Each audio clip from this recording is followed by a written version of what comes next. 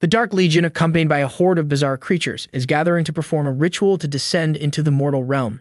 They cheer and surround a tower, atop which a radiant pink gem glows. It is intriguing, as its contents remain a mystery, but undoubtedly it holds tremendous power. Suddenly, a beam of dazzling light, imbued with unparalleled strength, emerges, causing the monstrous horde to scatter in fear and retreat. One of the figures from the Dark Legion has discovered that the power emanates from the sword held by a formidable leader.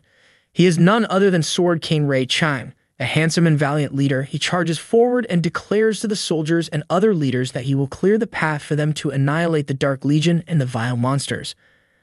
On the other side, the Grave Watcher Jort Bellmeyer rides atop a colossal dinosaur skeleton, commanding the army with a monstrous skull weapon in hand his weapon exudes magical power, seemingly ready to absorb the souls of the sinful. Next to Ray Chang and Jort Bellmeyer, another formidable force emerged, the beautiful yet equally courageous Saint Maria Jaeger. Besides Ray Chang and Jort Bellmeyer, another army appears, led by the beautiful yet courageous Saint Maria Jaeger. With a determined gaze, she targets the glowing pink gem at the center of the ritual site and signals that they must halt the descent ritual. The soldiers prepare to charge, but it's too late. The gem suddenly bursts into a blinding light, and cracks begin to emerge with the accompanying sound of shattering. Then, unexpectedly, the tower and the gem explode into numerous fragments.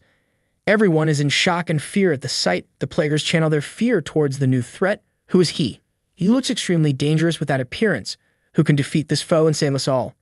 The dangerous entrance of the new target in the fifth season unfolds. The boss of the season is illuminated by a strange green light lifting him up his fierce gaze is directed towards the warriors, and his cloak is blown away, revealing two hands with two sharp swords ready to strike any daring foe. He is known as the Lord of the Plague, and the strange light surrounding him adds an eerie touch to his presence. No one knows the extent of the contagion he can spread, but the Lord himself takes precautions by wearing a mask and gloves to prevent any potential danger.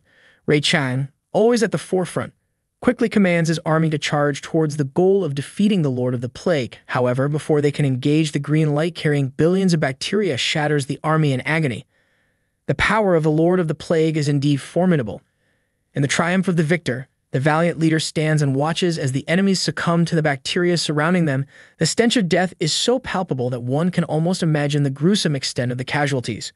The lifeless bodies pile up under the onslaught of the Lord of the Plague's deadly technique, the early charge proves futile, and the soldiers fall in heaps.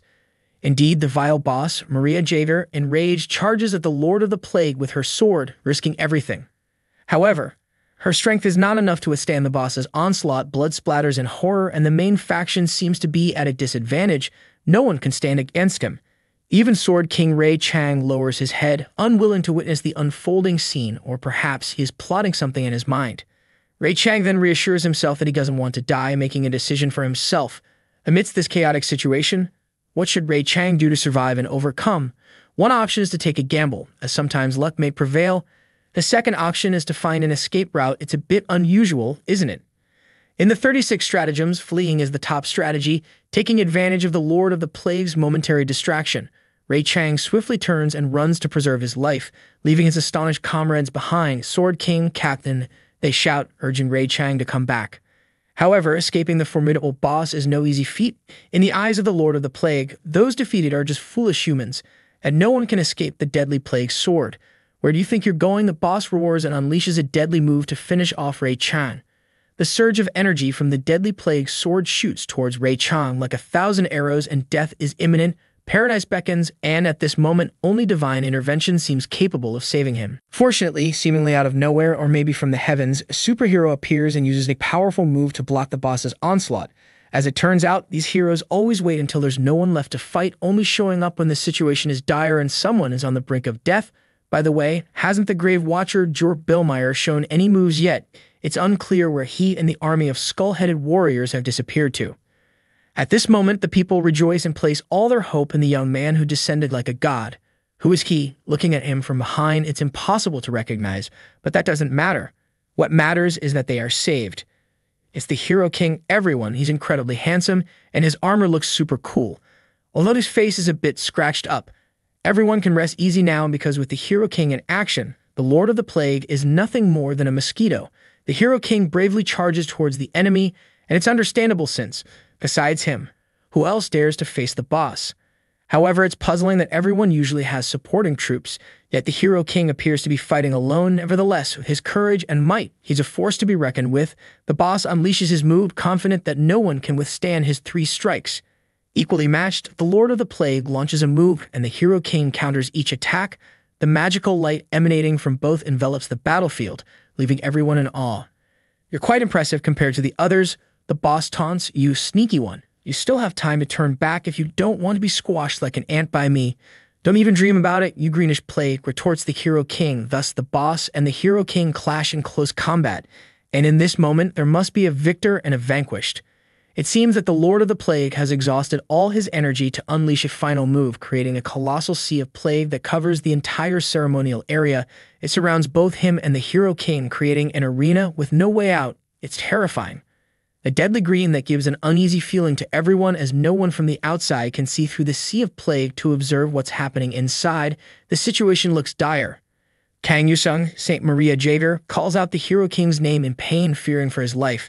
How dare you attack me alone? You truly are foolish. You don't know your own limits. This is the hope of humanity. This is the Hero King. You will die alone in this sea of plague, taunts the Lord of the Plague. The boss is delighted, thinking that with the deadly sea of plague he created, no one will be able to reach or save the Hero King, a painful and solitary death for someone who foolishly tried to help humanity. Expecting the Hero King to be frightened, Boss is surprised when the Hero King expresses gratitude. Thank you, he says. Anyway, I couldn't let others see my full strength. Earlier, I was worried that I had to do something to cover up, but luckily, with you, Boss, keeping it hidden, no one can see it. It's quite refreshing. How can you? Ah, no. Tearing through the sea of plague, the righteous light of the Hero King shines like lightning, causing everything to shatter. The brilliance is so blinding that people have to shield their eyes from its tremendous power. Oh my god, how is this possible? The Hero King is truly formidable. Now the Grave Watcher Jort Bellmeyer appears unexpectedly, a surprising and admiring sight. Did he contribute any moves earlier to fight against the boss of this season? Well, it seems like he has made quite a contribution now. Oh, unbelievable, a bewildered soldier exclaims, asking someone to pinch him to check if he's dreaming. We've won, we've been saved. Defeating the Lord of the Plague, the Hero King stands like a god before all of humanity, powerful, formidable, and handsomely charming. How can anyone resist such charisma? Hero King is number one. Cheers erupt, celebrating the end of the season with the Lord of the Plague's descent ritual. We've won, we've won, and we've prevented the apocalypse. The Lord of the Plague has been defeated. Random equipment cards have been distributed to all players who contributed to the battle. The top 100 players will receive a skill card on the sword rank, and the top 10 players will be rewarded with a gacha card for a hero rank ancient relic. Player Kang Yusung, who defeated the boss of this season, will be rewarded with a legendary black equipment and the title Lord Slayer. Cheers! You will receive a legendary black equipment and the title Lord Slayer. Kore, Yusung Yusung. And the world gets to live another year. Kang Yusung is praised during a press conference, with many journalists applauding his achievements among hundreds of players, Kang Yusung stands at the top of the rankings in all four seasons, leading in tower attack rankings, level, equipment, skills, and accomplishments. Truly an impressive feat. He's the number one among all heroes, the Hero King Kang Yusung, however. Why does his face not show a hint of joy? Is it because he's used to the title Lord Slayer by now, or is there something else on his mind? Oh, where did they get such an adorable Hero King doll? An excited little girl points to the TV and tells her parents that the Hero King is on TV. It seems like the whole family is a big fan of the Hero King, enjoying his famous battles. There's a unique excitement that comes when seeing their idol on TV. Right. Inside the house, they watch the live broadcast of the press conference and interview with the Hero King. Outside, young people are also buzzing with excitement. Everyone is asking each other, Hero King is saving the world again? Huh, yeah, Hero King and players worldwide. His red teammate even sells Hero King's jerseys so cool he's a perfect hero in the eyes of fans and allies. Returning to the press conference, the host directs a question to Yusung, asking him to share his thoughts instead of the assembled heroes.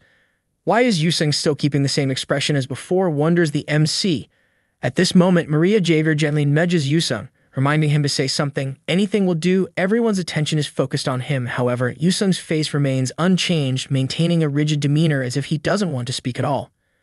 Maria Jaeger clasps her hands and whispers softly, Oh, please, just say something. They are broadcasting live. Look at you, faced with Yusung's stiffness. Maria Jaeger sweats nervously, feeling embarrassed on his behalf.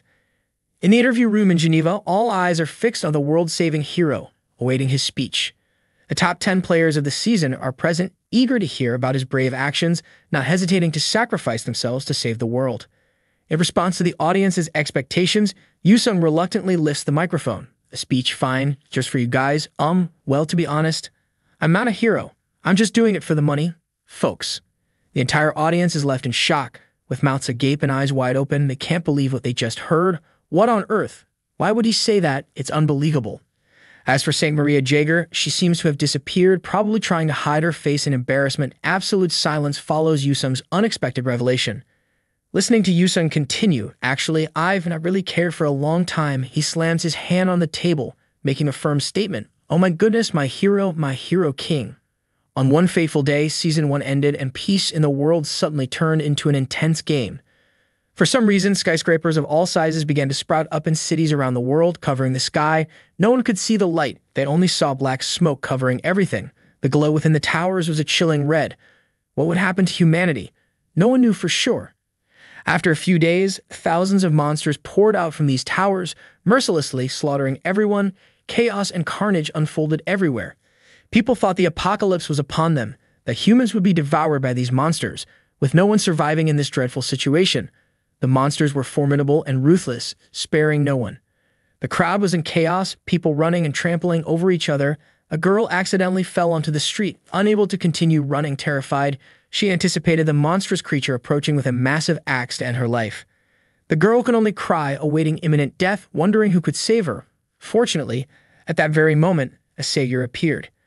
A golden flame sword swung, severing the colossal arm of the terrifying monster. Blood splattered, and the girl, overwhelmed with fear, felt like fainting. Who was this person that could stand against the dreadful horde of monsters?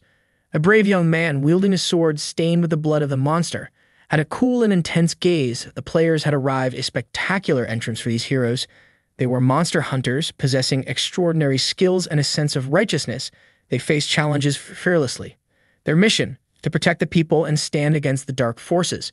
Afterward, the New World Order was announced, revealing who the strongest contenders were and who would be defeated. Everything lay behind, waiting for us to explore. Oh, what a monstrous scene! The towers exploded, and before us was a horde of monsters pouring out from within. One or two heroes couldn't possibly withstand these ferocious creatures. They were terrifying in their bizarre forms, squid-like machines with massive rotating blades ready to engulf anyone nearby, red spiders covered in poisonous spines, flying dragon-like creatures, wolves with sharp claws, and a formidable three-headed beast capable of breathing fire, not inferior to the legendary Ghidorah that once battled Godzilla in a famous film. These monsters would undoubtedly kill everyone. If they united their forces, I dare not imagine the horrors that would befall humanity. However, we can completely prevent this by attacking the towers at the right time, therefore, players with supernatural powers capable of attacking those towers will be considered heroes of the entire world. Some notable names include Sword King Ray Chang, Saint Maria Jaeger, and the Gravekeeper Jort Bellmeyer with their respective armies. I haven't cared for a long time.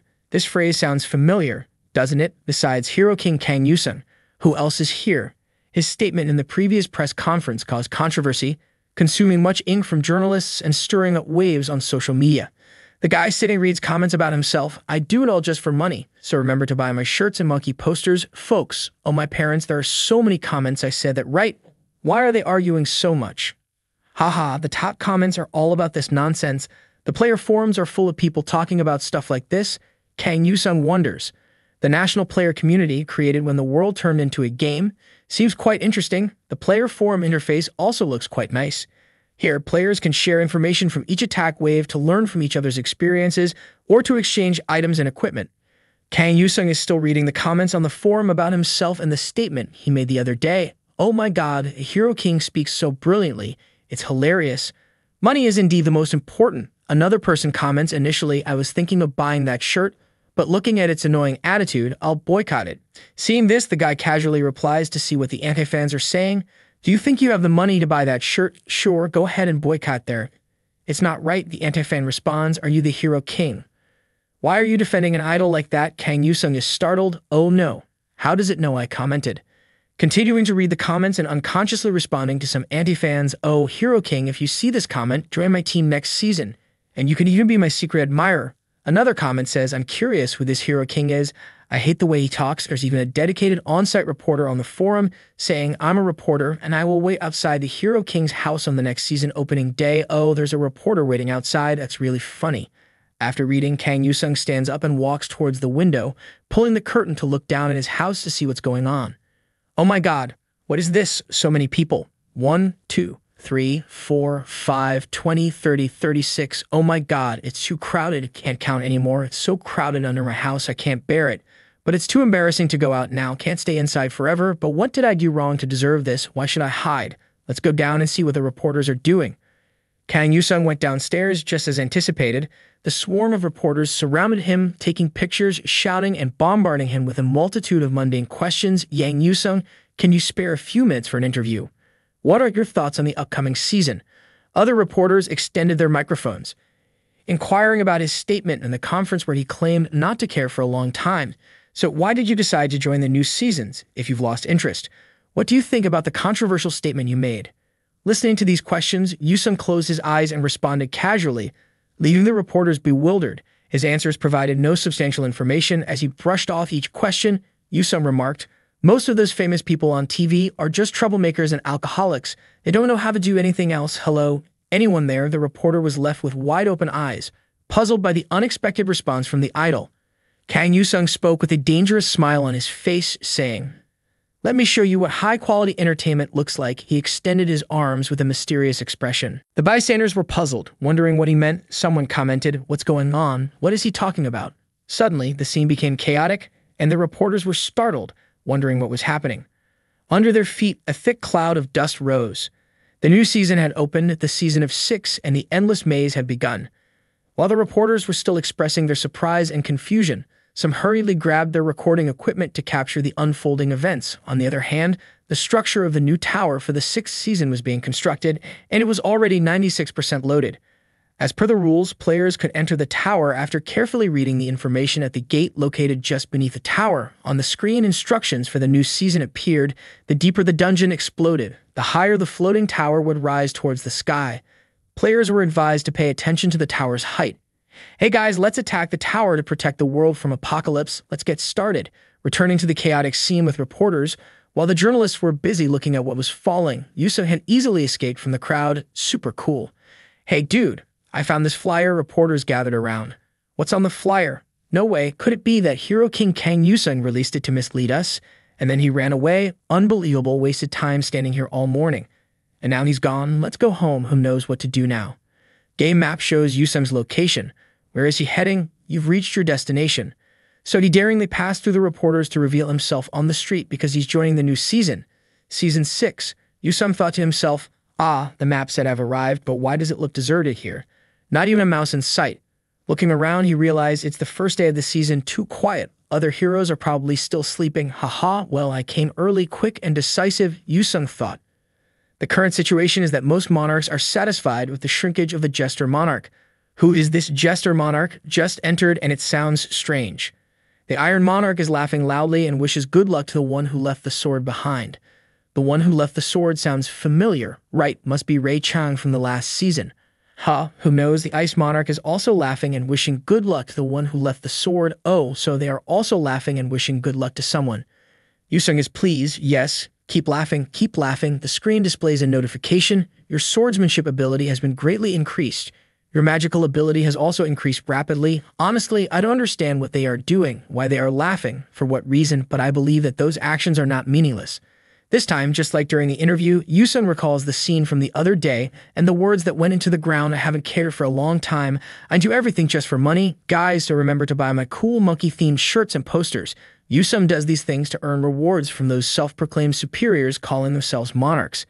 Yusung is eagerly anticipating something from observing these people. I'm so excited. This guy is really mysterious because he just spoke. It's really hard to read these handsome guys. Reading what else is on the screen, the notification says, The gold and legendary monarchs laugh heartily and bless the one who left the sword behind. Then the legendary chooser's blessing create a big effect. Your luck will increase significantly three times, and one of those three times, you will have a 100% chance of receiving a legendary reward. Kang Yusung is really formidable. He can open all the rewards at once. Why am I so obsessed with this mysterious smile? Every time he smiles like that, there's something irresistible. With an additional legendary chooser's blessing has a powerful impact on the player's gacha tada, Yusung has just obtained a legendary reward. What could it be? Surely something super cool. Yusung's eyes light up. eagerly waiting to see what legendary reward he has just received. Oh my goodness, it's legendary, legendary, legendary. Yeah, that's a legendary equipment. It's really awesome, and the cloak looks stunning. It truly suits me. Let me read out the detailed specifications for you. It's a black cloak with golden patterns renowned as the madness of the Golden Empire. It's a legendary item for defense. Features include defense 0, evasion 999, agility 300. When worn, the shield skill of the Great Archangel can be activated instantly, lasting up to 168 hours. Additionally, when wearing it, you'll be bestowed with the blessing of a knight's determination. In other words, the cloak was given to a knight with abundant faith who resisted the ambush of Elf Gelia in the battle between the two races through the blessing of the great archangel. Since the knight couldn't suppress the faith, they were massacred by thousands of elves. A legendary defensive equipment, a hero skill, and a hero relic are now in my possession. What a jackpot. Clad in the legendary black cloak, Kang Yusung confidently strides into the tower. A beam of light instantaneously transports him inside the dark tower. Finally, he has arrived within the dimly lit tower with a few torches flickering. Yusung is ready for battle. Boom, a massive figure, intimidatingly colossal, emerges, causing a tremor that sends shivers down the spine of everything in the tower. The red-eyed giant with two menacing tusks steps forward, wielding a gigantic battle axe. He roars, Cheek, meet your doom, Cheek. it appears that this is the opening act of the Blood Moon Orc Tower Level 3, with a maximum of 5 levels. The number of players allowed to enter ranges from a minimum of 1 to a maximum of 4, with the rule of no skipping levels and a shop available. Characteristic description This is a frenzied battle awaiting you, a war and more. The objective is to defeat the mighty Blood Moon Orc boss on the highest level. Yusun, excited by this challenge, exclaims, Wow, this looks intense. Maybe I should check out the hero skills. Yusung reads the description of the ice sword, a hero class weapon. The sword's characteristics are ice and metal. This sword has the ability to condense frost, creating an ice sword from ice crystal formations. Other players may also receive additional characteristics based on their compatibility with ice magic, skill card level, additional stats, and various other factors. Note that when using additional skills, players cannot wield weapons, but once the skill is activated, the ice sword is considered equipped and can be seen on the equipment bar. Yusung reaches out to grab the ice sword. At that moment, Yusung's compatibility with ice magic increased, and he acquired an additional characteristic, the ability to breathe icy breath. With this new power, there's no need to hesitate any longer. It's time to battle. Excitedly expressing his gratitude to the Ice King, Yusung charges forward like a super cool lightning bolt. With a swift swing of his sword, he slashes through the monstrous creatures. One, two, three, four monsters rush out to resist, but they couldn't withstand the power of the ice sword. Oh no, my axe! The monstrous creature roared in anger as its axe was broken into two by the ice sword. Alone, the heroic king charged into battle, swiftly clearing the massive monsters in the blink of an eye. It seems like the outcome of the battle was determined the moment he stepped in, truly formidable. Dozens of giant creatures fell to the ground, frozen and paralyzed by the ice sword's light and icy breath beneath the feet of the heroic king. After the battle, it was as easy as pie. This game seems designed for me to win. Victory, Yusung leveled up, his strength, agility, and intelligence all increased by one level. The Ice Sword Creation skill card also leveled up. Hooray! Oh well, stop praising me so much, it's just a usual thing. Having passed level 1, it was indeed a good start. Yusung wondered if he should try to save the world again. Well, if he doesn't do it, who will save the world? Let's move on, everyone. Opening the second gate, Kang Yusung charged forward like a commander-in-chief. Oddly, this guy didn't use any soldiers at all. He went alone. Huh, what's this? The heroic king widened his eyes as he looked ahead at some strange creature. Underneath, about 20 big guys were surrounding a campfire. What were they doing? Waiting for him, perhaps? These giants looked exactly like the ones that were just defeated in level 1. Tall, menacing, with sharp fangs, they had noticed Yusung. Hey, it's him and they're coming, the giants exclaimed. He's the warrior who'll take us to Valhalla. Look at that cool armor and sword. A bit small, though, one breath from me, and he might fly away. Don't underestimate the enemy, though, and already defeated a bunch out there before crawling in. Let's fight and die with honor. Cheek. Okay, let's see the big guys. Yusung raised his powerful ice sword and was ready to show them who's boss. Launching his attack, he swung his sword down on the giants. Here's your ticket to paradise. I'll let you enjoy the heavens and reunite with your ancestors right now. Boom, a critical hit. The giants went flying in all directions, leaving a messy trail of flesh and blood throughout the tower. Pretty gruesome. Can't believe my eyes. Once again, breezing through another level, Yusung was making his way to the fourth floor. He was relieved that he was leveling up steadily. but the absence of resting floors made it a bit challenging. Despite the continuous battles, he couldn't complain too much since he was winning every time. Suddenly, something caught Yusung's attention, making the Hero King startle. He swiftly turned to see what it was holding his trusty sword tightly. Whoever you are, I'll take you down. Come out, let's settle this. Don't be too confident, Yusung declared boldly, ready to face whatever new challenge awaited him.